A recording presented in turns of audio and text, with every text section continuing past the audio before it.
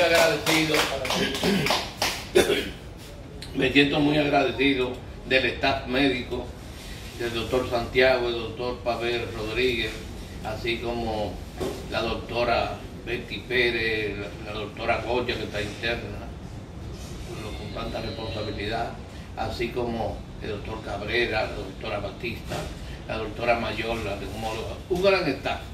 Aquí estamos en tecnología de punta, esto es una gran familia en materia infantil, no hay que envidiarle a ninguna clínica, no solamente para el COVID, sino para cualquier enfermedad. Yo quiero que ustedes sepan que doña Olga Perrones, igual que Piero Perrones, Nicolás Perrones, eh, pues yo soy parte de esa familia. Además, desgraciadamente el doctor Luis José Castillo falleció, no resistió la enfermedad, le dio un infarto, hasta un marcapaso se le puso. Humanamente pues, se hizo todo lo posible.